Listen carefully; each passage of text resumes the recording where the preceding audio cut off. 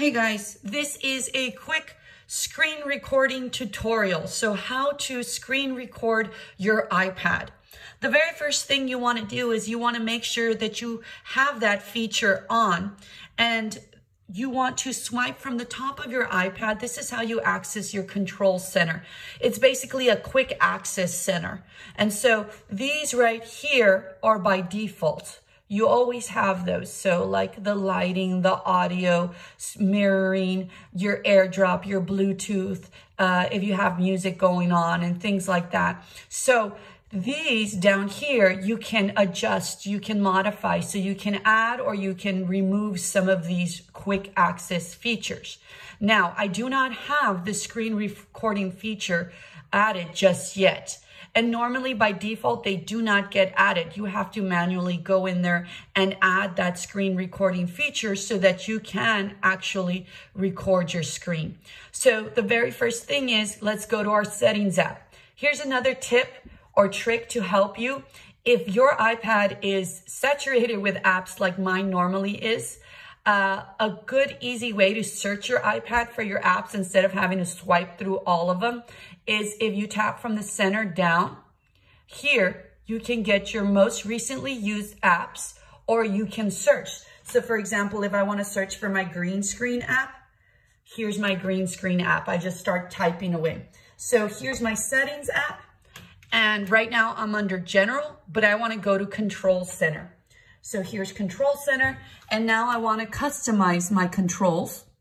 These are the ones I had there already.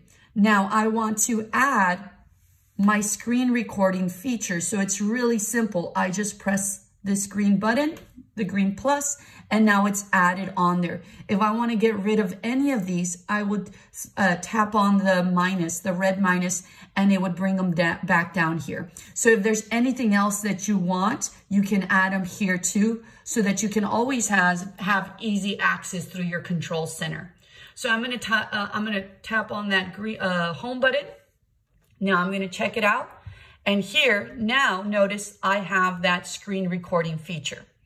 Before you actually start screen recording, if you want your audio to come out like I'm doing this video right now, you're going to want to give it a long press. And now notice microphone is on.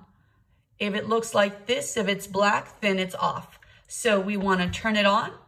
We're using our regular camera from our iPad to record. And now we're ready to record. So I'm going to go ahead and press on it. And it gives me a little bit of a countdown. And then I want you guys to notice that this red record button comes out. And that's just letting me know that I'm currently recording. So what you would want to do next is go through whatever you wanted to showcase on this, on your video. So if it's how to use pic collage or how to use the green screen app, then it's that's how you would go about doing it. So it's really simple. When you're done and you want to finish your recording, then you would press on this red button and you'd click on stop. So then you'd get a banner and you'd click on that banner and it's going to take you to your Photos app. And there, you're ready to play it. So I'm going to take off the audio. And that's just letting me know that I'm currently recording. So what you, and so that's my video that I just, oops, sorry. That's my video that I just recorded right now. Here it is. So you can always find your video recordings on your Photos app, which is basically your camera roll. Uh, that's how simple it is, guys. I hope you liked it. Uh, please let me know if you have any questions or you'd like to see any other type of tutorials. Reach out, comment, and don't forget to like and subscribe, guys. Thanks. Have a good one.